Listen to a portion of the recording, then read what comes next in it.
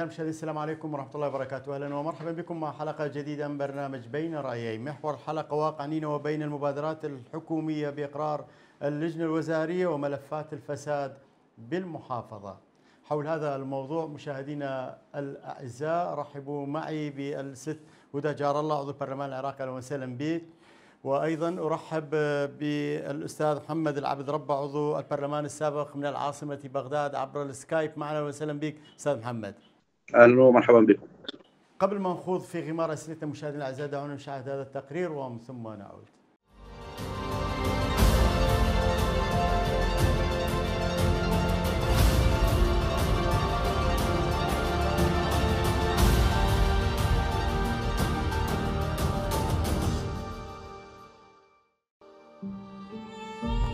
الوقت الذي أطلقت فيه الحكومة الجديدة برئاسة مصطفى الكاظم وعودها بالإصلاح تأتي اللجنة الوزارية التي أقرتها هذه الحكومة لتقوم بمهمة مراجعة أداء المحافظين والحكومات المحلية. قرار لقي ترحيبا واسعا من أهالي الموصل عامة وعدد من السياسيين خاصة فيما لا يخفي عدد منهم خيبة أمله من القرارات الحكومية. لكن كل هذه الأصوات بدأت تنادي بفتح ملفات عديدة لعل أبرزها ملفات الفساد المتعلقة بحالة المشاريع والتدخلات الخارجية في شؤون المحافظة إضافة إلى استغلال بعض المسؤولين مناصبهم وقيامهم بسرقة تخصيصات المحافظة. الأمر الذي كان له انعكاسات سلبية للغاية على حياة الموصلين وعلى واقعهم الاقتصادي والاجتماعي بصورة خاصة.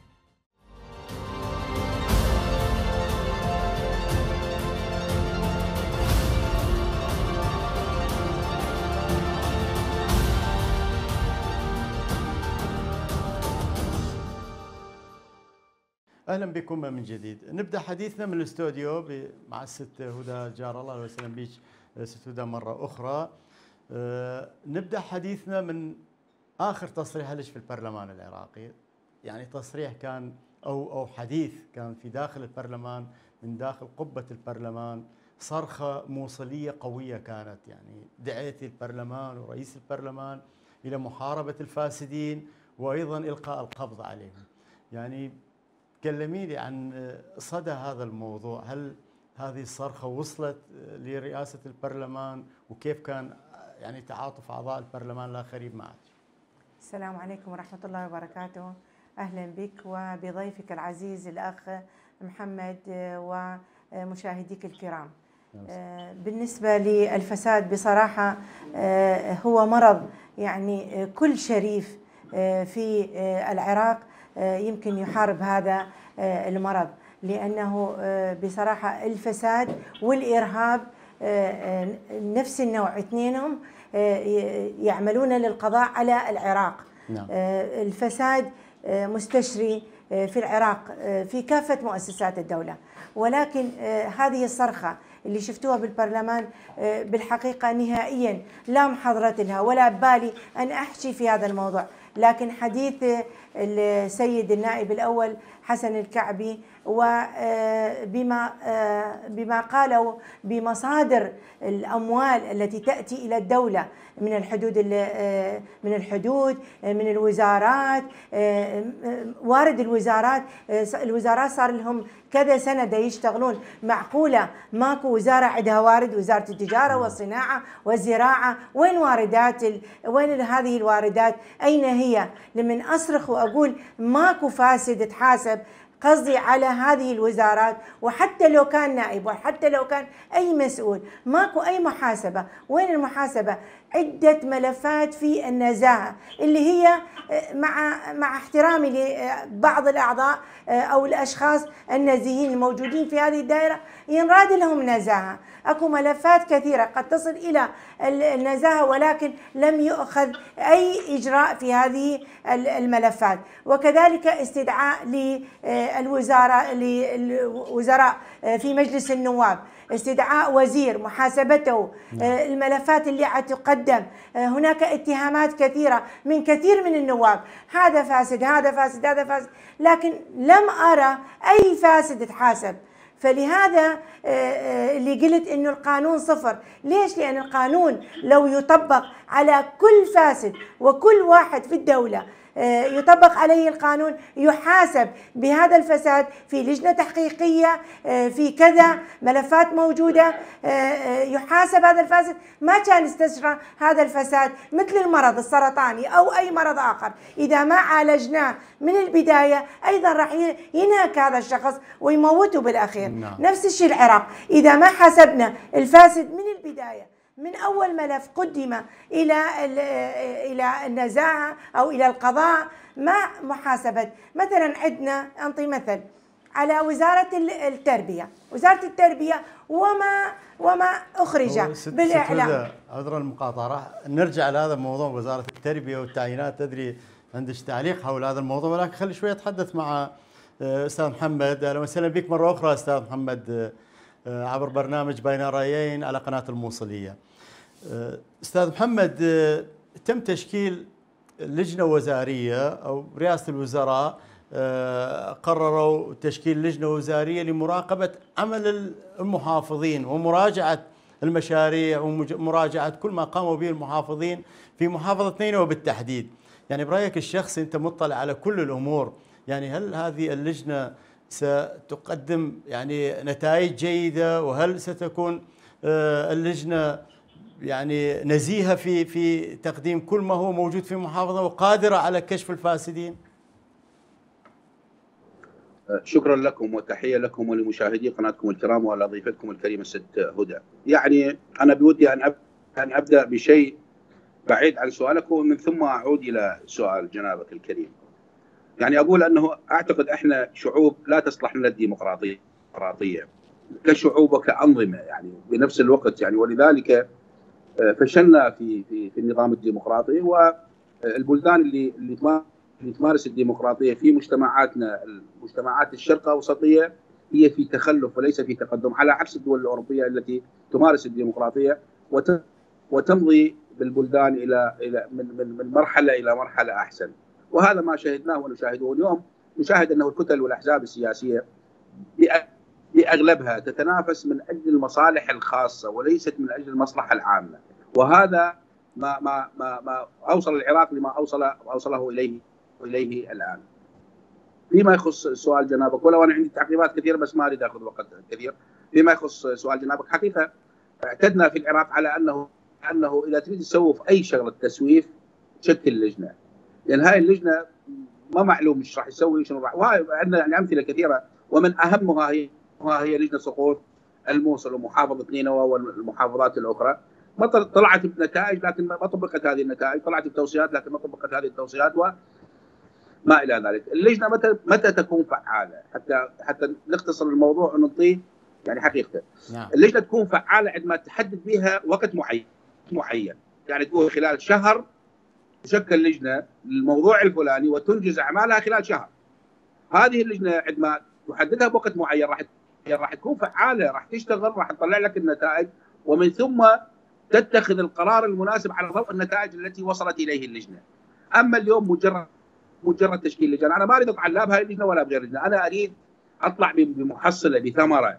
يعني اليوم الطالب من يدرس عليه يدرس حتى يطلع بثمرة. أكيد. التاجر التاجر من يريد يشتغل عليه حتى يربح. الطبيب من يريد يروح للعياده عليه حتى يعالج المرضى ويربح بالمقابل، اذا أكو ثمرة في كل عمل في الحياة أكو ثمرة. اليوم هذه اللجان لجان أنا أريد الثمرة مالها، شنو ثمرتها؟ في تقديراتي الشخصية طالما أنه لم يحدد لها سقف زمني ولم يحدد لها محور حقيقي واضح أما اليوم تسألني تقول لي للمحافظين كل المحافظين وين المحافظين؟ إيش قد عندي اني؟ إيش قد عندي ملفات؟ إيش قد عندي هذه ما أحتاجها، أنا أحتاج أنه أكو جزء جزء ملفات معينة ابحثها، مثلا على سبيل المثال على سبيل المثال للحصر. تربية ما مجالي على سبيل المثال شرطة، شوف شنو شنو الملفات اللي في بالي. أنا ك أنا كحكومة كرئيس وزراء أكو عندي معلومات على الدائرة الفلانية. في هذا الملف. أشكل هذه اللجنة. وهي اللجنة نعطيها مدة قصيرة أسبوع 10 أيام شهر كحد اقصى أقصى. وتطلع لي بنتائج واتخذ قرار. ليش؟ حتى البقية بقية الملفات أو بقية المدراء أو بقية المحافظين أو بقية المسؤولين من يشوفون صار اتخاذ قرار بهذه اللجنة وطلعت بنتائج. البقية تخاف هسه ما تخاف على الماضي الماضي بعد خلاص ارتكبناه سواء كان فساد سواء سواء كان نعم. مخالفات ارتكب. لكن راح تخاف للمستقبل تحسب حساب للمستقبل إنه بعد ما تتخذ خطوات نحو الفساد أو نحو الفشل الإداري. لكن عندما ما ما يكون هناك إجراء وما يكون هناك محاسبة للمخالفين وأنا أقصد هنا المخالفات سواء كانت قانونية أو إدارية أو مالية عندما يكون عدم محاسبة لهؤلاء لهؤلاء أكيد أنا أمضي في آه، استمراري في في المخالفات استمراري في الفساد استمراري في انتهاك حقوق الإنسان وكل ما إلى ذلك من معوقات التي التي تعيق الدولة وتعيق محافظة نينوى تحديدا فسيد العزيز أنا أقول كنت أتمنى أن يحدد وقت زمني وكنت أتمنى أنه يصير بها حزم لملفات معينة ومحددة. نعم. أرجع ست هدى، هدى ردت تتحدثين عن نعم. التربية لأنه آه، موضوع التربية موضوع لربما آه، خاصة في مجال التعيينات طال انتظاره، هناك عندنا محاضرين، هناك عندنا آه، ملف التعيينات. وين كانت يعني هناك تصريحات للتربية مدير التربية وإلى آخره إنه ملف التعيينات في طريقها إلى الحل. ولكن تغيير مدراء التربية خلال فترة قصيرة عده مدراء جون لتربيه نينوى، هل تعتقدين أنه هناك جهات معينة لها دور في هذا الموضوع؟ قبل ما أبدي أجاوب على سؤالك خلي أبدي من الهرم الفساد اللي صار بوزارة التربية نعم. آه، طبعا أنتم تعرفون الإعلام والتويتر وكافه الوسائل الإعلام آه، عرضت آه، ملف التربية وفساد التربية نعم. وكذا عقود وكذا مبرمة ووهميه وملفات كثيرة نعم. لكن في في لحظة وأخرى انطمت هاي الموضوع انطم هذا الموضوع ونلف ملف آه، وزارة التربية آه، طمرة طمرة لماذا وأشنو السبب؟ وليش؟ ومن اللي طمروا؟ نعم.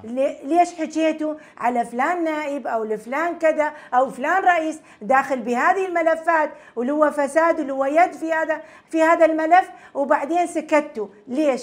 زين آه، منو منو اللي حاسب؟ منو اللي زين الجمهور شلون الجمهور يثق بينا ويثق بالدولة اللي ما عاد حاسب الفاسد علما إنه اكو أكو فد ملف واضح؟ جاي واضح كلش واضح للعيان وللجمهور إنه هذا الملف به فساد ومشتركين به جهات من الدولة آه، آه، ذكرت أسماءها زين ليش ما تحاسبوا شنو السبب زين ليش ما بينوا إنه ما لهم علاقة بالموضوع أو قعدوا أو تحاسبوا حاسبوا أو ست ليش البرلمان سكت عليهم؟ حتى البرلمان ليش سكتنا عليهم؟ نعم. حتى ما ما سكتنا وإنما هناك كثير من الملفات حسب ما سمعت ملفات كثيرة في عدد كلش كبير في دائرة النزاهة ولكن لم تعرض ولم آه، توضح ولم آه، آه، وأنا قلت قلت لكم بصرختي إيش قلت؟ قلت جيبوا الوزير كلبشو قدام الجمهور نعم. قلت كلبشو زتوه بالسجن قدام الجمهور نعم. حتى الجمهور يصير له ثقة بينا تمام. يعني غدا بعد غدا لما نريد منه تعال انتخب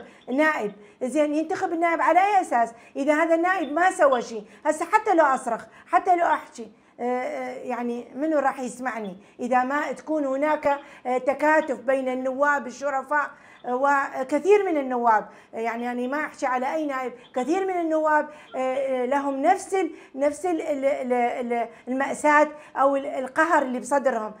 فعلا أنا من صرخت بمجلس النواب من صرخت هاي الصرخة كان كثير من النواب هناك قالوا أثلجتي قلوبنا. ليش؟ لأنه هذا الفساد موجود يعني وشنو يعني من الضحية؟ الضحية الجمهور، الضحية الشعب نعم. آه، ما عدا وزارة التربية أجي أروح على آه، وزارة آه، التجارة العفو الكهرباء، وزارة الكهرباء هناك عقد تعيين 90 ألف موظف تعيين عقد كهرباء انت عينتم يا وزير لما عينتم غير تحسب حساب رواتبهم؟ نعم. ومن هذاك اليوم لحد اليوم يداومون دوام منتظم ويروحون يجون يدفعون اشتراكات. شنو ذنبهم؟ نعم. لحد هذه اللحظه ما ياخذون راتب. ليش؟ نعم. انت يا وزير انت تتمتع براتب. عائلتك تتمتع بأحلى القعدة وبأحلى البيوت وبأحلى السيارات والمواطن اللي يدفع اشتراك ويروح يجي على الدائرة ويداوم. ما ياخذ راتب ليه ليش؟ يعني هذا هذا هذا شنو ذنبه؟ من يدافع عنه؟ غير آني وغيري وغيري من النواب نعم. الشرفاء اللي يدافعون عنه أنا ما أقصد سين أو صاد من النواب أو من رئاسة المجلس. بصراحة أنا أحمل رئاسة المجلس المسؤولية في هذا الموضوع. المفروض رئاسة المجلس هي اللي تتخذ قرار استجواب النواب أو استجواب الوزراء اللي عندهم ملفات فساد. استجوابهم أمام النواب. الوزراء الفاسدين إذا ما مسنودين من كتل سياسية إذا ما مسنودين من جهات عليا ما يدخلون بهذا الموضوع. هو هنا القهر. نعم. هو هنا القهر. القهر إنه هذا الوزير أو سين أو صاد أو أي مسؤول بالدولة حتى لو مدير مكتب حتى لو آه، آه، وكيل وزير أو غيره مسنودين بأحزاب سياسية. هي نعم. هاي الأحزاب السياسية اللي حتقويهم أتمنى من جميع الأحزاب السياسية الكف عن الكف عن الوزير اللي هم جابوه. نعم. أنا افتهم إنه هذا الوزير جاي من حزب. ما مع هذا هاي واضحة للعيان إنه محاصصة موجودة وإنه نعم. هذا الوزير جاي من الحزب بس هو جاء وقعد واعتبرناه آه، كفوء وجيد جدا وقعد على آه، على كرسي الوزارة. نعم. المفروض الحزب السياسي خلي كف عنه كفي نعم. هذا الضغط. لازم يجيب له مدير مكتب من عنده لازم يجيب له مدير قسم من عنده من عند من عند الحزب اللي جابه وقعده. وأيضا يامره في كافة الأمور يامره إنه إن توقع هذا وما توقع هذا وتوقع هذا وما توقع هذا. ما يخلوه يشتغل براحته. بالكفاءة اللي عنده لو يشتغل بالكفاءة اللي عنده يمكن ينتج. لكن مع الأسف الشديد نعم. الأحزاب هي المسيطرة ومع الأسف الأحزاب مو كل الأحزاب الاحزاب الفاسدة لازم نحارب الأحزاب الفاسدة قبل أن نحارب الوزراء وغيرهم من نعم. الشخصيات نعم. أستاذ محمد آه، أريد أخذ رأيك تغيير مدراء الدوائر بمحافظة نينوى وهناك مسلسل بهذا الموضوع يعني أكو أكو دائرة من الدوائر يمكن خلال أربعة أشهر بدلوا أربع مدراء يعني أكيد هذا راح تأثر على معاملات المواطنين تأثر على آه، يعني سير آه، عمل الدوائر الحكومية في محافظة نينوى. سؤالي هو من يقف وراء هذه التغييرات؟ هل أيضا الأحزاب مثل ما تفضلت ست هدى أم آه، الفساد أم من؟ يعني ما ردت تجمع كل سياسيين محافظة نينوى وقعدهم هسه نقعد في حلقة واحدة وتبدي تسألهم واحد واحد واحد الجميع راح يتحدث عن محاربة الفساد والجميع راح يتحدث عن يريد يبني بلد ويريد يبني محافظة ويريد يسوي يسوي شيء يعني والجميع يريد يتحدث عن إعمار محافظة نينوى والجميع وطنيين والجميع طيب من هو الفاسد؟ إذا الجميع تتحدث عن الفساد من هو الفاسد؟ من هو الفاسد؟ إذا الجميع تتحدث عن الوطنية من هو من هو الخائن؟ إذا الجميع تتحدث عن الكفاءة من من الذي يجعل من من غير الكفؤ يتقلد مناصب؟ اذا يمكن كبيت للشعر يقول نعيب زماننا والعيب فينا وما لزماننا عيب عيب سوانا. الجميع مشترك في في عملية الاخفاء، لكن كل واحد حسب يعني نقدر نوصفه حسب الدرجة الوظيفية أو حسب ما يتمكن، اليوم اليوم أنا أقولها من خلال قناتكم ومسؤول أتحدى كل محافظينك وكل مدراء الدوائر مالتك. إذا في يوم من الأيام أنا مخابر على محافظة أو على مدير دائرة قايل لهذا الموظف انقل لي من هذا المكان إلى هذا المكان. أتحداهم كلهم يعني خلال كل الفترات السابقة ولحد الآن. هذا يعني حقيقة مو مو أريد أحكي عن نفسي يعني بس أنا أريد أبني أريد أقدم شيء. أما اليوم أنا يجي فلان من الناس جاب له جاب مدير دائرة المعين الفلاني هذا مدير دائرة. شوف راح ينطيه مبالغ مالية لو ما ينطيه لأن هذا عنده مشاريع. إذا ينطيه راح يعتبره من خيرة المدراء اللي موجودين. اما أما شنو علاقة المشاريع اللي نفذها ما عنده مشكلة بها هذا هذا مو موضوعه. موضوعه تجي واردات. زين هذا صار تعيينات راح يعين له؟ إي راح يعين له. إذا هذا هذا خوش مدير ودرجه اولى هذا وطني وكفو ونزيه. يعني منظارنا للحياة أصبح مع كل الاحترامات أصبح منظار ضيق. دقيق يعني محصور في المصلحة الشخصية. ما نفكر بمستقبل ما نفكر بخمس سنوات مستقبل إيش راح يصير بعد عشر سنوات راح أعطيك مثال مثلا هسه قد يكون خطر على بالي هسه. إحنا بالموصل عندنا معهد إعداد المعلمين أو المعلمات. يعني معهد معروف قديم هذا. طيب هذا اللي يتخرج من عنده أنا أنا أريد أسأل سؤال اسال اسال, أسأل نفسي وأسأل الآخرين. هذا من اللي يتخرج من هذا المعهد وين يروح يشتغل؟ يروح يشتغل مختبرات طبية؟ لو يروح يشتغل يروح يشتغل بالزراعة يروح يشتغل بالصناعة. هو اسمه معهد إعداد المعلمين أو المعلمات. اذا اذا مال تربية مال تعليم. نعم. هسه أبو القانون اللي عنده شهاده شهادة قانون ممكن أن يعمل في أغلب دوائر الدولة ما عنده مشكلة. يعني سواء يعمل في التربية يعمل في الصحة يعمل في الزراعه في الصناعه قانون. كل المجالات متوفرة به. لكن أنا دا أحكي عن اختصاص. هذا راح سواء بنت أو ولد راحوا في اختصاص معهد معهد المحللين يعني هذا ملزم الدولة أنه من تنفتح تفتح في التربية فتش على هؤلاء هؤلاء الشريحه هم الأهم. حقيقة هم الأهم. وعندك مثلا كلية التربية أيضا ممكن تكون أهم. أنا أروح أجيب مثلا مثلا ناس مو اختصاص فيما يخص التربية وأعينهم بالتربية على أساس؟ ليش يعني؟ طيب هذا اللي درس وتعب وصار له سنين. حتى حتى يتعينوا ضمن اختصاصه. وهو هو معني بالموضوع. يعني إذا فيما يخص الرياضيات فيما يخص اللغات فيما يخص الأقسام الأخرى هؤلاء هم اختصاص. أما أما تروح تجيب لي واحد ما له علاقة بالتربية لا لا لا من بعيد ولا من قريب وأجي اعينه بالتربية والله قليل. طبعا هذا الحكي أنا ما أحكي قد يكون مو بس بالنينوى قد يكون في اغلب العراق لكن أنا أريد أول مرة أبني بيتي هاني حتى من أروح انتقد الآخرين. أقول له عندي حجة ما يقدر يقول لي ليش؟ أقول له أنا بنيت بيتي بيتي فأجي أريد أوجهك مثل ما أنا لكن أنا الخراب عندي هسه أنا أريد أعمر ما أقدر أعمر. ولذلك شوف سيد العزيز اليوم الموضوع هو عبارة عبارة عن ولاءات لا ما لك علاقة يعني مع جل احتراماتي. قد يكون المتحدث نفس الشيء يصرف قد يكون في بعض الأحيان. الموضوع ولاءات ما موضوع أنه أنه أنا شلون أبني دولة. هسه قلت لك كم مثل ما ما أسلفت لك في بداية الحديث. أي وتجي عليه تلزمه يقول لك أنا أريد أبني دولة. طيب هسه بالبوصله إحنا ما عندنا فاسدين وكلها كلها تحكي على الفساد. على هاي ملفات الفساد؟ يشوف لي الفاسد من يروح إلى إلى إلى مكان معين. شوف هاي العالم شلون تستقبله وأهلا وسهلا وقال أبو فلان وحكى أستاذ فلان. وحكى طيب الخلل وين؟ إذا الخلل عندنا في منظومة متكاملة الآن مع جل الاحترامات اللي يراها المجتمع. المجتمع أيضا شريك معي في هذا في هذا الموضوع. السياسي شريك والمجتمع شريك أنا من من المجتمع ينبذ الفاسد ما راح يكون له مجال الفاسد أن يقعد بالمجتمع، لكن الفاسد عندما يمد ايده بجيبه ويقوم يوزع ورق ويوزع فلوس للعالم وما يسال هذا يقول له هاي الفلوس منين لك جبتها؟ مال حلال لو مال حرام؟ طبعا ما راح نصل لهذا المستوى مستحيل يعني. يعني نعم. ولذلك اليوم أيضا أنا أكو عتب على المجتمع مثل ما أكو عتب علي أكو عتب على المثقفين مثل ما أكو عتب على السياسيين لازم تكون عندنا توعية اليوم إحنا وين رايحين؟ لوين نريد نوصل البلد ولوين نريد نوصل المدينة على قولتك بالليل مدير الصبح تقعد مدير ليش يا اخوان؟ يا أخوان شنو الموضوع؟ الموضوع أكو أحزاب متنفذة صاحبة قرار تخمط من من هاي الدائرة وتخمط من هذيك الدائرة وتسوي شيء بغداد يسوي هذا الشغله بفلان مكان ولاءات فأتمنى ان ان أن تكون هناك عملية تصحيح في المستقبل. إن شاء الله، شكرا جزيلا لك مشاهدينا الاعزاء فاصل ومن ثم نعود إليكم مرة أخرى.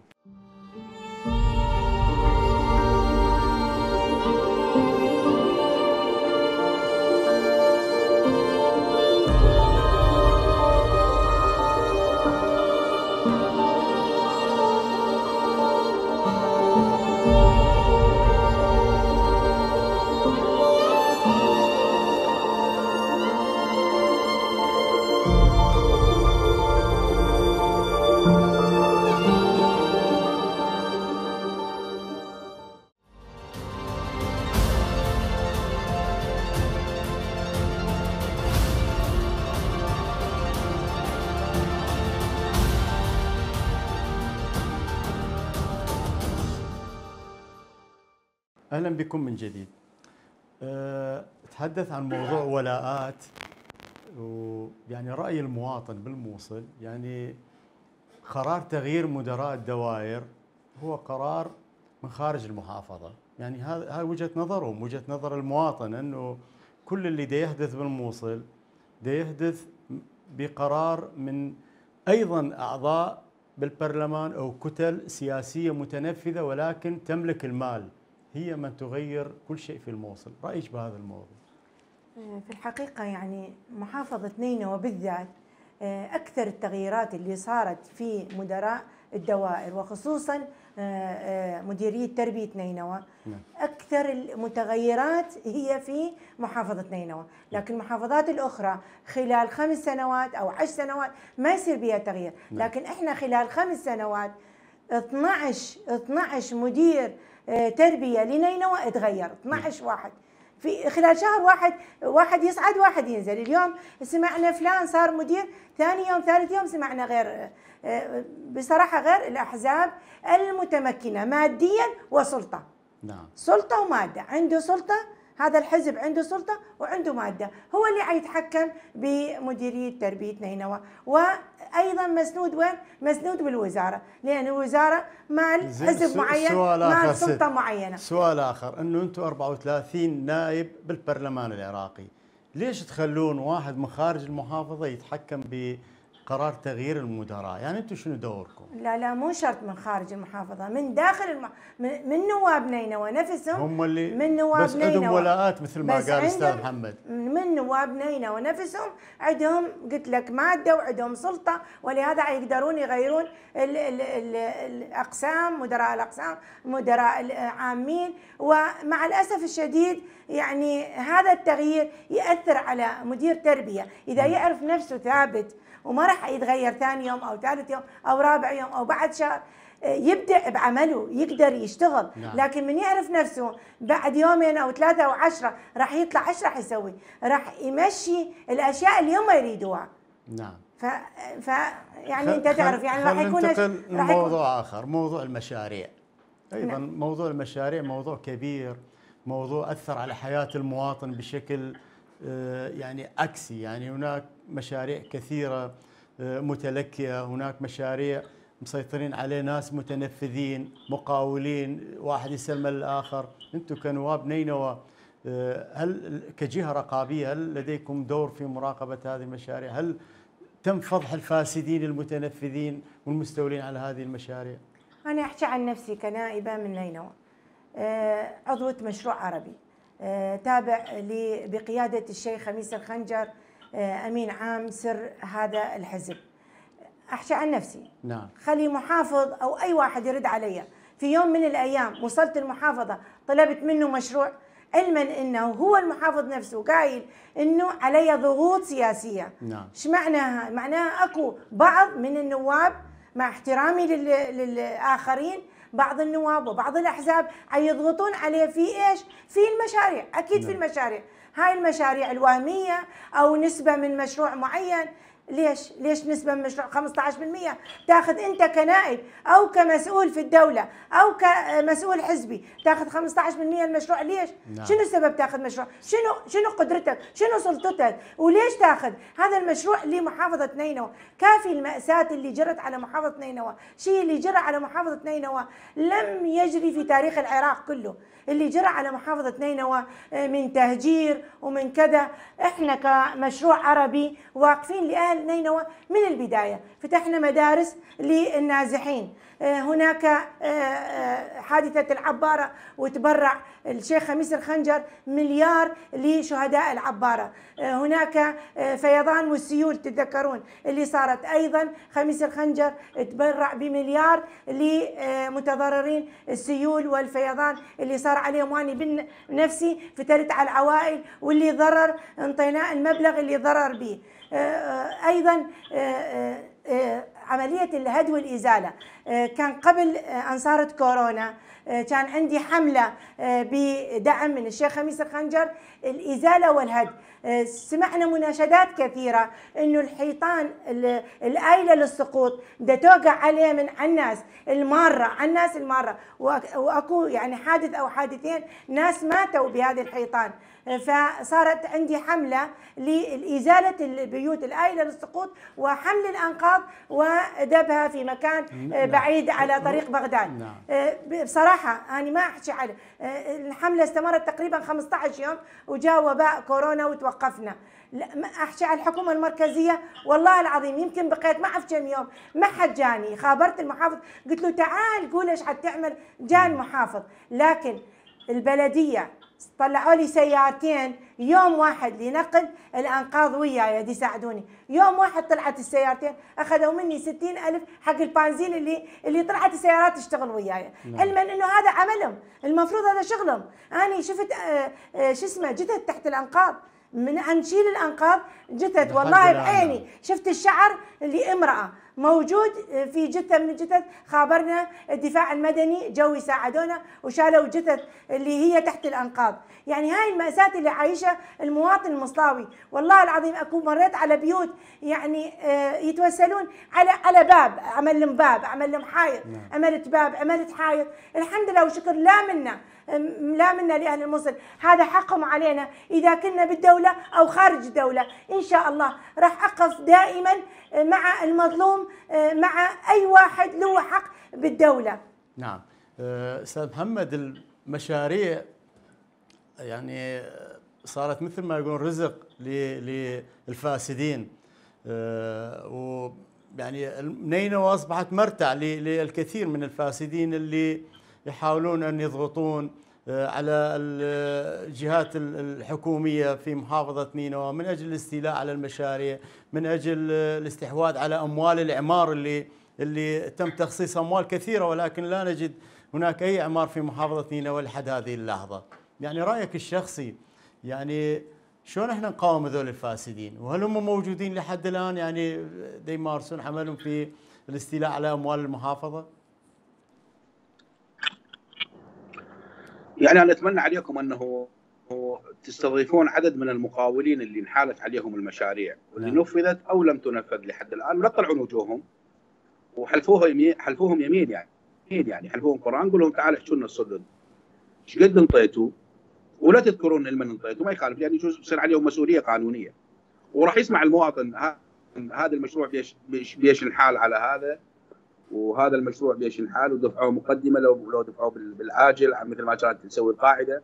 لا هسه يعني تصور أنت قبل القاعدة كنا إحنا ولد الموصل نعرف يعني القاعدة كانت تأخذ من المشاريع تأخذ من المقاولين نعم. تأخذ بنسبة 5% اي خاوات 5% هسه هالخاوة وين تحولت؟ تحولت على قسم من الدوائر وقسم من المسؤولين هاي الخاوة وبنسبة 10% و15% واللي قدام الدقن على الميز الله يخليك يحل لك المقاولة. ما الدقن على الميز اكو غيرك لا لازم سرع. موجود هذا الشيء. هذا شوف إحنا بصراحة ملينا قد ما بدينا نحكي ملينا قد ما قلنا. ناس يعني يعني ناس هذا هذا هذا عملها يعني. هو شو يسوي له؟ هو هذا فاسد شو يسوي؟ قول لي هو هسه الفساد يحتاج له. واحد شخص يقول هذا فاسد لو مو فاسد؟ نعم. واحد بال 2004 بال 2005 ما عنده بيت. ما عند عند سيارة. اليوم يحتاج يعني يحتاج الكلام هذا الموضوع. وإحنا على قولة المثل يقول إحنا ولد قرية كل من يعرفه خير. أكيد. نعرف هذا إيش عنده ونعرف هذا إيش عنده ونعرف هذا. فموضوع الفساد بصراحة لا لا, لا يعني ما يتعالج. ما يتعالج. ليش؟ لأنه أكو قطاع سياسي أكو قطاع قانوني أكو اتفاقيات بين الأحزاب تتفق فيما بينها على موضوع الفساد.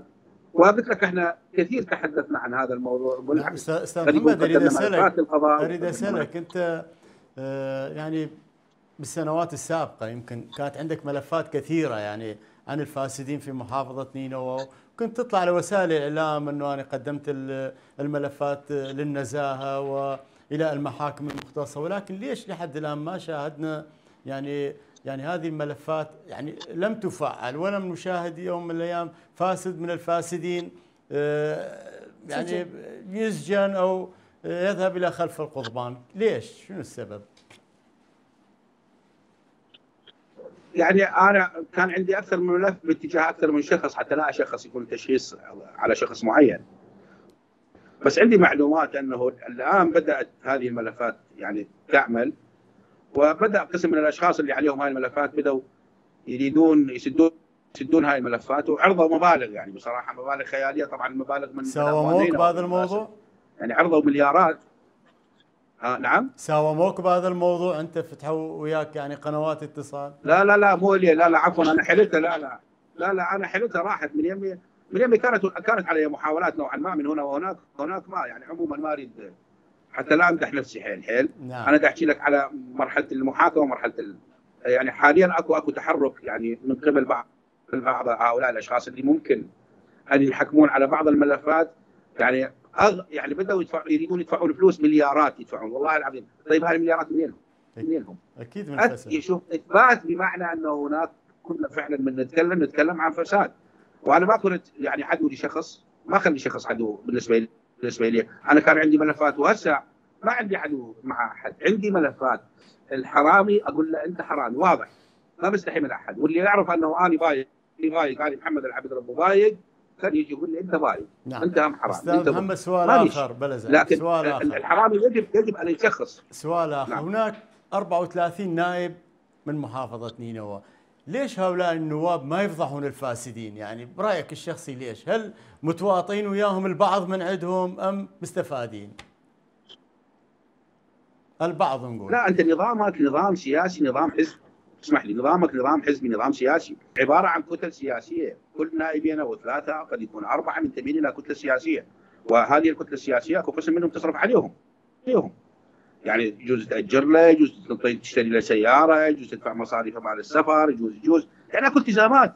فبالمقابل اكو يعني أكو التزام التزام اخلاقي أيضا يقول لك أنا بالنسبة لي هذه هذه الكتلة مثلا على خل اعطي مثل على نفسي يعني حتى لا أروح لغيري. آه أنا في كتلة معينة وهاي الكتلة تصرف علي علي. توكلني وتشربني وتنومني وتنطيني مصرف وسياره ومدري إيش كذا. وإحنا عندنا وزير في هذه الكتله والوزير ما لنا فاسد أعرف يبوك. زين أروح أحاسب الوزير الوزير مالتي؟ ما تقدر. قبل ما أحاسب الوزير لازم أحاسب نفسي يعني. ما أقدر لأن ح... طيب لأن هاي المصاريف اللي تجي تنصرف علي اني من هذا الوزير. للفساد مال هذا الوزير. وهكذا يعني اكو اكو وحقيقة أكو ناس مثلا يعني هسه تحسب الاربع إحنا نحسب 34 ثلاثة كوتا. من ال 34 يبقى 31 تمام؟ نعم. ال 31 اخواننا الكرد أيضا بهم 8 9 راح يصير فرد 20 واحد، ال 20 همنا كل واحد كل واحد كل على قول كل واحد جوا نجمة. هذا هنا وهذا هنا وهذا هنا وهذا. واكو مصالح. أنا طبعا بنتحدث عن موضوع المصاريف والكذا مو الكل، اكو قسم من عندهم. أكيد البعض هنا. بالمقابل بالمقابل اكو اكو اكو تنافس اكو تنافس. اليوم أنا أريد أشوفك أنت في كتلة معينة تريد تمشي في مشروع معين. أنا أجي انافسك ما اخليك تمشي حتى أنا أكسب هذا الشيء. أكو في بعض الأحيان قسم من الإخوان أو الأخوات يقول لك أنا ليش أحط نفسي بهالموضوع هذا وأخلي فلان يزعل علي وفلان؟ يعني الأمور ماشية وده يشوف الأمور شلون تمشي. يعني أكو شيء متغلب طاغي يعني يعني بصراحة الفساد طاغي على الدولة يعني طاغي على القانون القانون. فليس في موضوع هنا وهناك هذا من ناحية، الناحية الأخرى يعني نحكيها بكل بكل أمانة. إحنا النواب يعني حتى عندنا بدت بدت قسم من الأخوات النائبات يمارسن عمل اقتصادي. يعني يمارسن عمل اقتصادي مو شغل بعيد عن عمله النهائي. لكن بدل يعني هسه هسه بالله ذولاك زلم بيها مجال. قلنا ذول نواب يجوز عندهم زين. أكو قسم من النائبات يا أخي يا أخي هم قاموا يروح القسم من السياسيات يقوم يمارسن عمل اقتصاد فالمشكلة أنه شوف أكو من يذهب إلى الدولة لغرض بناء الدولة. نعم. شكرا لك أستاذ هاي نقطة أخيرة راح أقول نعم. لك أكو من يذهب إلى الدولة لبناء الدولة. وأكو من يذهب إلى الدولة لبناء نفسه. خل اخذ رأي ستودة حول النائبات اللي آه، يعملن في المجال الاقتصادي. أكو شيء؟ قد يجوز.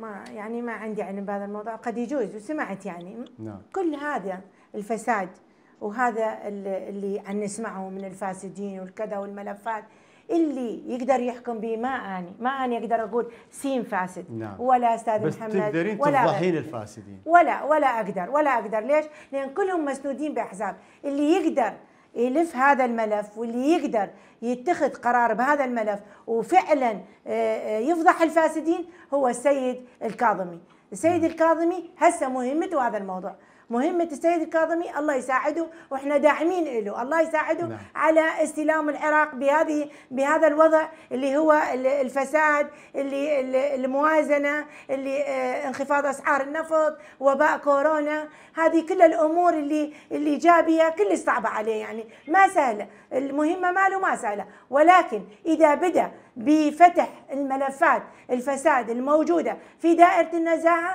ويشخص سين وصاد بكل قوة بكل بالإعلام وبمجلس النواب. وفي أي مكان إذا فضح آه، السيد الكاظمي هذه الملفات وألقى القبض على الوزراء ونائب وأي مسؤول بالدولة. آه، له يد بالفساد القى القبض عليه وحجز امواله المنقولة وغير المنقولة راح يكون إيش؟ تطبيق للقانون. ومن طبق القانون الكل خافت صار ردع بهذا الموضوع. أخذنا إيش؟ أخذنا جرعه علاج. اخذنا جرعة علاج من هذا الفساد. لأن هذا الفساد يراد له جرعة علاج. وهذا العلاج ما حد يقدر له إلا السيد الكاظمي. ما تقدر له لا هدى ولا أي واحد من النواب البسطاء آه، آه، يقدرون يحلون هذا الموضوع. ليش؟ لأن أنا ما أقدر أقول سين أو صاد. حتى لو عندي معلومة عن سين أو صاد مثل ما يقول مستحى من كتلته أو كذا أو كذا ما أقدر. لكن السيد الكاظمي يقدر. عنده ملفات نائبه انت نائبه أنتم البرلمانيين محصنين. شلون ما تقدرون محصنين يعني زين المواطن ونقدر يقدر إذا أنتم ما تقدروا نقدر أنا أقدر نقدر وشفت الصرخة مالي نعم. ضد الفساد وأريد قلت له أنا أول وحدة إذا اني خطانه آه، حاسبوني حاسبوني واعملوا تحقيق علي ولكن هذا الموضوع ما حد يقدر له إلا السيد الكاظمي ولازم نتعاون وياه لازم نتعاون نتعاون معه نعم. واكو ملفات. إحنا نتعاون معه راح تقدمون موجوده الملفات؟ موجودة ملفات. موجودة بالنزاع. إذا هو يريد يتخذ هذا الموقف وما عنده ما عنده خوف من أي حزب سياسي. مهما يكون هذا الحزب ومهما يكون قوي هذا الحزب يجب أن يحاسب إذا له يد بالفساد وخراب العراق. لأن خراب العراق ونخره من الفساد والفساد والإرهاب نفس الشيء. يعني قلت بالبداية هم اللي سقطوا العراق. نعم أكيد. آه، اسمحي لي آخذ فاصل وبعدين نعم. أرجع لشمرت لكم. مشاهدينا الاعزاء فاصل. ومن ثم نعود إليكم مرة أخرى.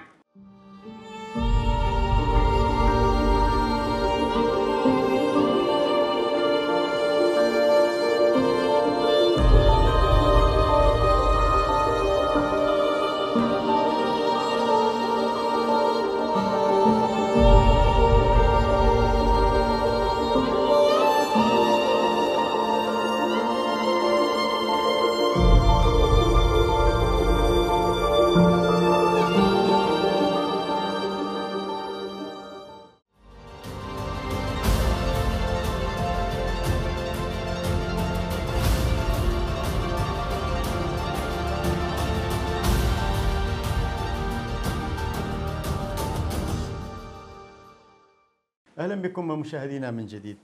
ست خلينا ننتقل إلى محور كورونا يعني يعني هذا الوباء الخطير جنبنا الله وإياكم هذا المرض وجنب الشعب العراقي هذا المرض الخطير. يعني رأيك الشخصي بإدارة هذا الملف في محافظة نينوى، هل الحكومة المحلية ودائرة صحة نينوى نجحوا في إدارة دفة ملف كورونا في المحافظة؟ طبعا في البداية بهذا الموضوع بصراحة نشكر الأطباء آه، وبتعبهم وجهودهم المبذولة آه، في هذا الموضوع ما قصروا. والجهات الأمنية أيضا العسكرية والشرطة أيضا ما قصروا بهذا الموضوع بصراحة في منع التجوال وفي غيرها. ولو يعني بصراحة هذا الموضوع أثر على الطبقة الكادحة أكيد. اللي قوتها اليومي. بصراحة أثر عليهم كثير. ليش؟ لأن ما وفرنا لهم آه، ولو يعني كثير من النواب وإحنا من الناس يعني وزعنا لكن آه، أيضا ما غطينا الكل. كثير من الناس تضررت بهذا الموضوع. ولكن الحمد لله آه، محافظة نينوى تقريبا تجاوزت هذا الموضوع. ويمكن أصور فتح حظر التجوال ماكو حظر تجوال في نعم نينوى. نعم. فتح حظر التجوال. وإن شاء الله آه، المفروض هسه من اهالي نينوى يحافظون على أنفسهم بيش بلبس الكمامة آه، والكفوف آه، واستعمال المعقمات. هذا الموضوع لازم يحافظون عليه في دخولهم وخروجهم نعم. إلى البيت حتى لا يصابون. أربط هذا الموضوع بالفاسدين. أيضا نرجع للفاسدين. يعني لولا الفاسدين الآن محافظه نينوى كان فيها مستشفيات الآن يعني إحنا بعد بعد تحرير الموصل لحد الآن يعني سيد الحلبوسي تبرع لنا بمستشفى كرفاني آه، ويعني بقية المستشفيات لحد الآن هي كما هي في الجانب الأيمن المدينة الطبية في الجانب الأيمن لا زالت يعني يعني أنتم أيضا كنواب المفروض أيضا تتابعون ملف إعمار أو على الأقل إعادة تأهيل المستشفيات في محافظة نينوى اللي نفوسها 4 ملايين مستشفيات جدا قليلة. بالحقيقة يعني نواب نينوى ما مقصرين آه، في المطالبة وخصوصا من السيد الكاظمي آه، بدعم نينوى نعم. وأيضا هو وعدنا أنه ملف نينوى راح يكون آه، في مقدمة المواضيع نعم. إعمار نينوى مستشفياتها مدارسها أيضا نجي على في هذا في هاي الأثناء أجي على المحاضرين. بصراحة المحاضرين ملف المحاضرين راح أذكره هسه حتى قبل لا يخلص نعم. البرنامج مالك. أذكر ملف المحاضرين. موضوع المحاضرين مهم موضوع مهم جدا.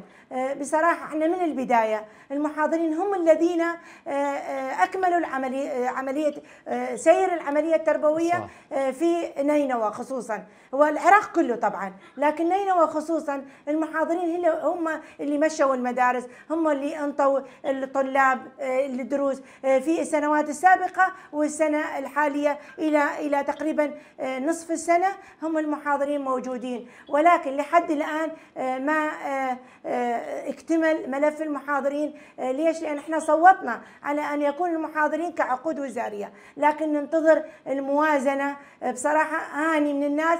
آه، ما أصوت على الموازنة وأقسم بالله العظيم أن أدافع عن هذول المحاضرين ولا أقبل من النواب وأطلب من النواب أيضا مساعدتي بهذا الموضوع بحيث ما نصوت عن الموازنه إلا أن تكون المحاضرين موجودة في الموازنة كعقود وزارية أو يتحدد له مراتب تحدد المراتب على الأقل أو كعقود وزارية في موازنة 2020 و2021 نعم موضوع مهم جدا هذا نعم هذا الموضوع مهم. جدا. ليش؟ لأن المحاضرين حقهم علينا. لأنه نعم. أنا أيضا عضوة في لجنة التربية.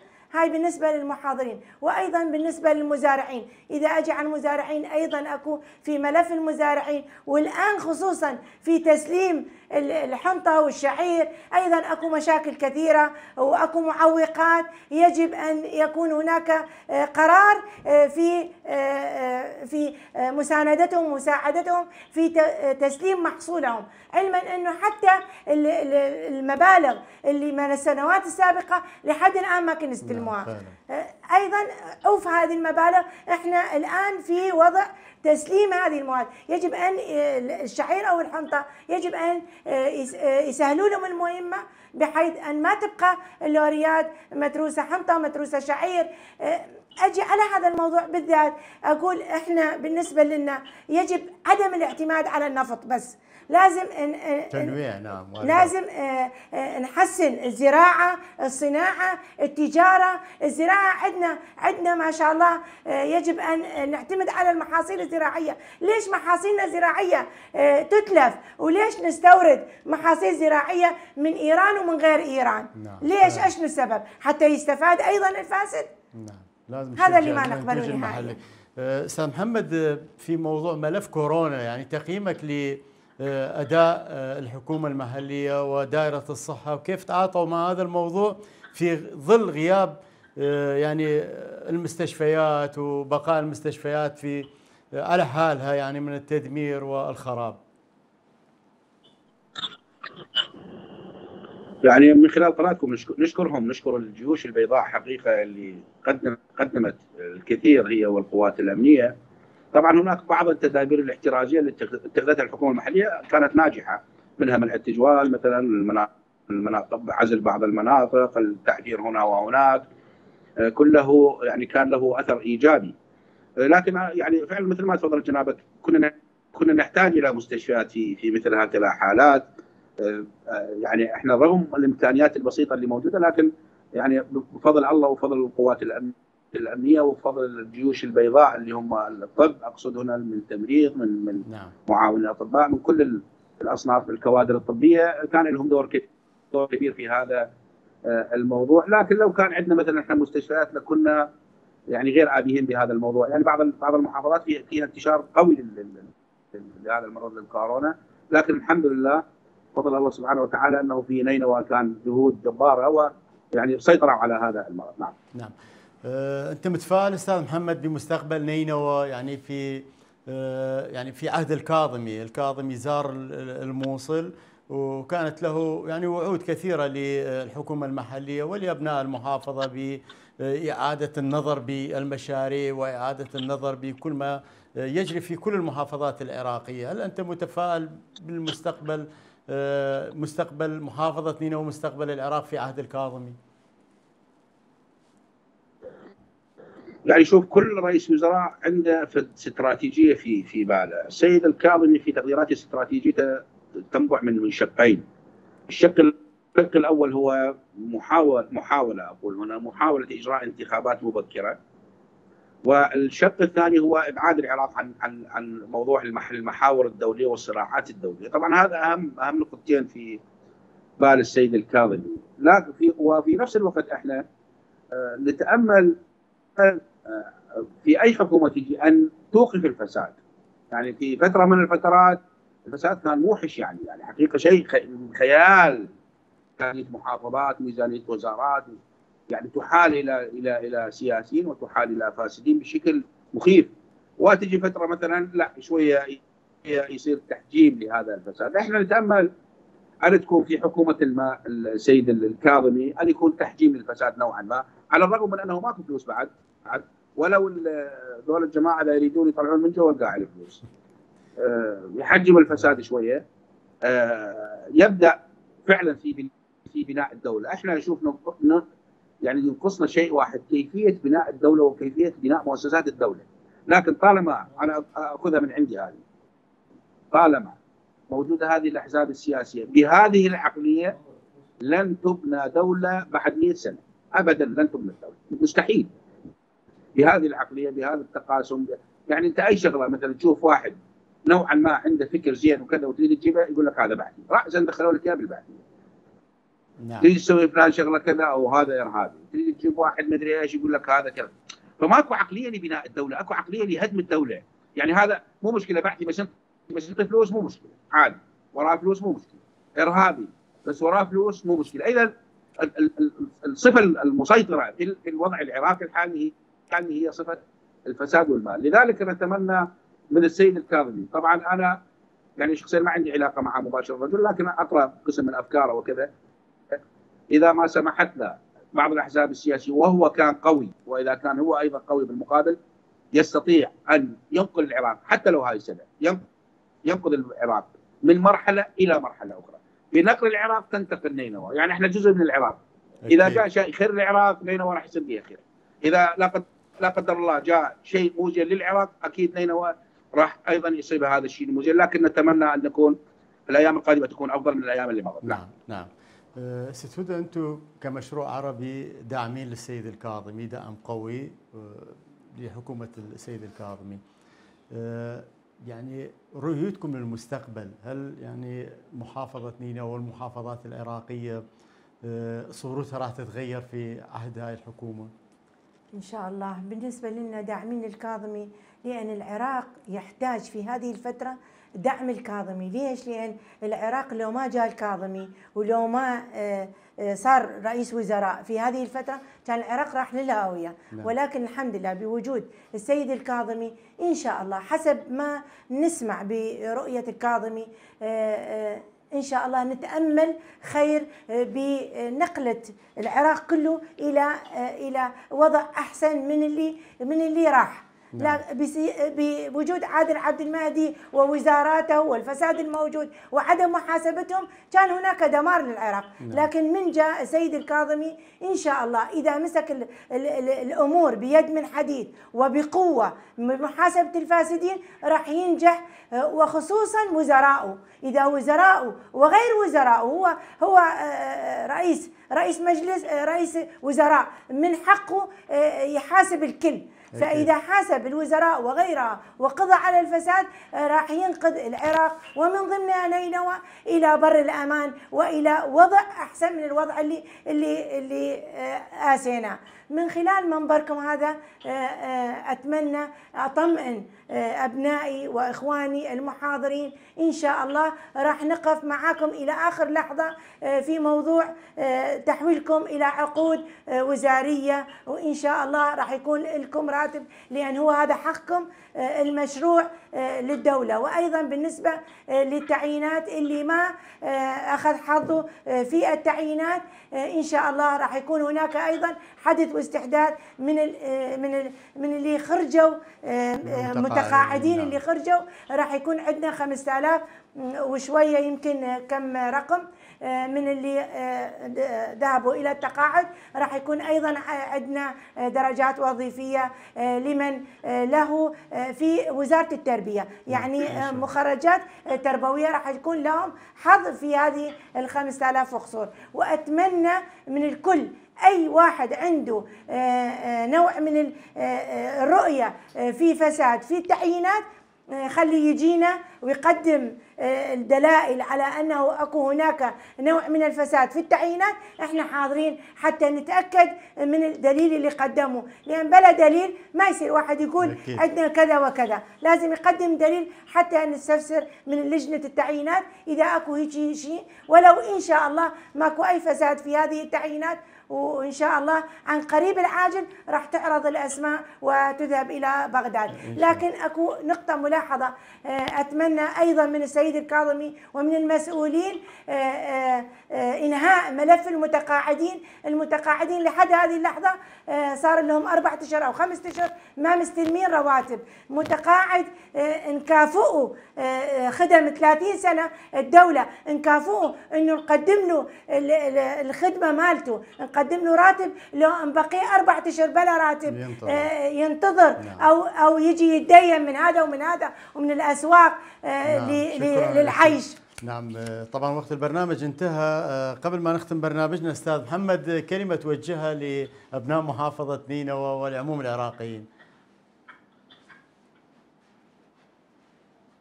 يعني حقيقة نتمنى أن الله يصلح هذا البلد ويكون نحو الاستقرار والأمن والأمن والاقتصاد والرفاهية. آه، نتمنى الخير للجميع. آه، نتمنى أنه آه، الشباب الواعي المثقف يحاول أن يغير ما موجود في محافظة نينوى. وأقصد هنا تحديدا الوضع السياسي لأنه إحنا بنتكلم عن فساد ونتكلم عن موالاه هنا وهنا وهناك. حقيقة بسبب سوء يعني مع عذرا للتعبير بسبب سوء الاختيار. لكن عندما نختار صح راح ننجح. ولذلك المرحلة المرحلة القادمة ما راح تكون بعيدة. قد تكون سنة أو أقل أو أكثر. يجب أن يكون هناك اختيار صح. بالمقابل آه، يجب أن يكون هناك تعاون. نعم موجود هذا التعاون لكن نحتاج إلى تعاون أكبر حتى نستطيع أن نمضي بالعراق وبنينوى والمحافظات الأخرى إلى بر الأمان لأنه آه، حقيقة ما يدور في الدول الأخرى شيء خطير. نحن نقرأ التطورات الدولية بشكل أوسع. آه، نتمنى أن نبتعد عن عن هذه الصراعات وأن يكون حديثنا فيما يخص العراق وفيما يخص نينوى تحديدا وإن شاء الله الموفقية إلى الجميع. وأنا بس بس حبيت يمكن أذكر موضوع معين فيما يخص موضوع الفساد. يعني قد يكون أنا شخص وصلت إلى قناعة أنه حتى السياسي اذا يريد يستفاد فخلي يروح يستفاد حاله حال المقاولين الآخرين بشركاته إذا عنده شركات. يعني أنا أقول أنه النسبة اللي يأخذها بدل ما يأخذها من باب الحرام خلي خلي يأخذها من باب الحلال. أنا عندي شركة أروح أقدم أربح 10% 15% حالي حال المقاول العادي ممكن نعم. لكن أنه أنا أخذ نسبة كسياسي سياسي ويجي المقاول من حقه أيضا يربح بنسبة 15 20% وأنا أربح 20% راح يصير عندي راح يصير 40 إلى 50% من قيمة المشروع، طيب المشروع اذا ب 100 مليون وإحنا اللي قدام ماخذين منه 50 مليون. شلون راح يصير هذا المشروع؟ شنو كفاءة هذا المشروع؟ ما يتنفذ. نعم. المقومات اللي راح تكون ناجحة؟ عليه ولذلك أقول يا إخواني مو كل شيء بالحياة ترى الفلوس صح؟ ترى كلها تحب الفلوس. نعم بس شكرا لك أستاذ طرق مشروعة تربح نعم شكرا جزيلا شكرا. لك كلمة أخيرة ستودع قبل الختام. اتمنى أطمئن أهلي بنينوى وأطمئن آه، أهل العراق كلهم آه، إن شاء الله المستقبل أفضل. آه، بس بصراحة يعني أهم نقطة هو هو يعني شهلة العراق بالقضاء على الفساد. وإحنا هذا موضوعنا النهائي. إنه القضاء على الفساد هو اللي ينقذ العراق من هذا من هذا الوضع اللي هو به ومن هاي الموازنة اللي اللي يعتبروها ما موجودة واللي نعم. يريدون يدينون من الدول الخارج يريدون يدينون من الداخل. وإحنا رفضناه بالمجلس رفض كامل. وخط أحمر لرواتب الموظفين. ما نقبل نقبل نهائيا المساس برواتب الموظفين نعم. ممكن راتب النائب راتب الوزير راتب الرؤساء الثلاثة آه، راتب الدرجات الخاصة ممكن لكن الموظف اللي راتبه مليون ونص وخمسمية أو هاي الفلوس اللي قطعوها من المتقاعدين هاي رفضناها رفض نهائي وراح ترجع لهم الشهر الجاي آه، ليش؟ لأن هذا خرق للدستور وللقانون نعم. ما ممكن خرق القانون